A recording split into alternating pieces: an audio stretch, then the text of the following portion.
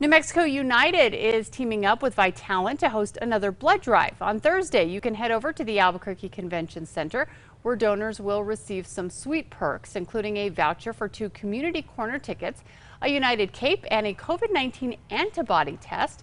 The blood drive starts at 10 a.m. It goes until 5. To sign up, just head to our website, alwaysonkrqe.com.